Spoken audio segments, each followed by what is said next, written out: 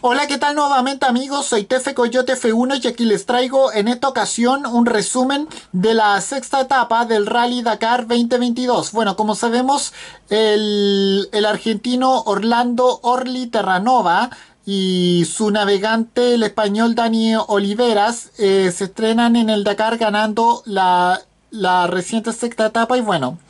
Otro triunfo para la máquina BRX del equipo ProDrive y por otro lado a la Tilla se destaca mucho más en la general y bueno, sin más que decir vamos a hablar de aquello. Bueno, como sabemos el argentino eh, Orlando Orli, entre comillas Terranova y su copiloto el español Dani Olivera son los ganadores de la etapa número 6 de la de la actual eh, versión 2022 del Rally Dakar. Como sabemos, la pareja del equipo BRX, eh, prototipo diseñado por la, por la marca ProDrive, aprovechó una beneficiosa posición de salida octava plaza para ir ganando tiempo, atrapando rivales y superando, y superando a cada uno en meta luego de invertir 3-6-45 eh, como tiempo final.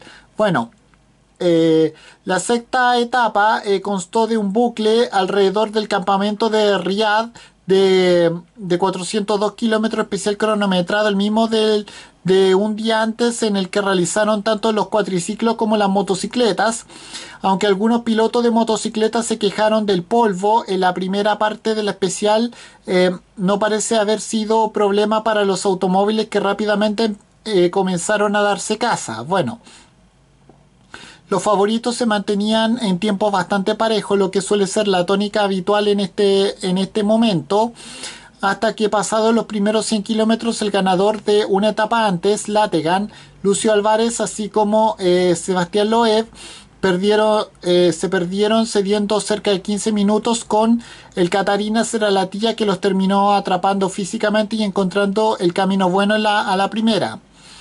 Con sus máximos rivales junto a él, el piloto catarí no forzó, la, no forzó su vehículo, permitiendo que pilotos bastante retrasados fueran cortando tiempo hasta que en el kilómetro número 259 de la, de la especial, el argentino Orlando Orli Terranova ya estaba eh, en la primera posición, pero con la amenaza de Matthias Ekstrom muy presente porque el sueco del equipo Audi se colocaba en el último punto de paso solo 24 eh, segundos. Sin embargo, el mismísimo eh, piloto argentino no se dio y finalmente fue el más rápido en meta, superando a 1.6 al piloto del equipo Audi y al local en 1.49 a Yasser Al-Raji.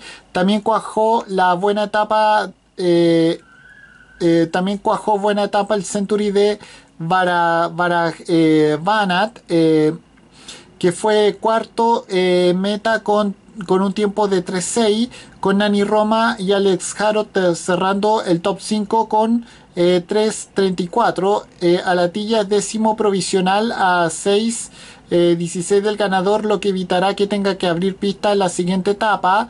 La siguiente etapa 7 que será mañana minimizando los errores de navegación. Y bueno finalmente Love se dio 21-31 regalando otro cuarto victoria a su máximo rival que tiene el Dakar más plácido de toda su de toda su trayectoria quien tuvo otra etapa para olvidar ha sido el madrileño Carlos Sainz, aunque el veterano corredor español comenzó con buen ritmo, marcando el mejor tiempo absoluto en el kilómetro 41. Un problema lo obligó a detenerse eh, por casi media hora y bueno, antes de eso Peter Hansel eh, había perdido un cuarto de hora revelando problemas en la nueva montura del, coche de Audi.